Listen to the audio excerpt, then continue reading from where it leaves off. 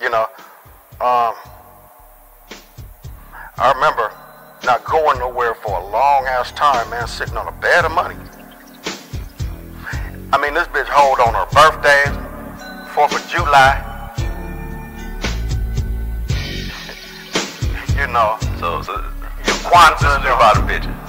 you know, the, the is whole, about a bitch, right? and, and, and look, I knew, I knew, I knew this.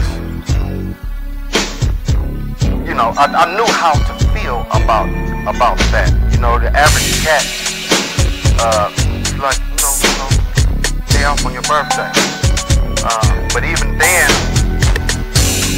you know, I'm like, you know, take us some candles. You know, happy birthday, bitch. Gorgeous. You know.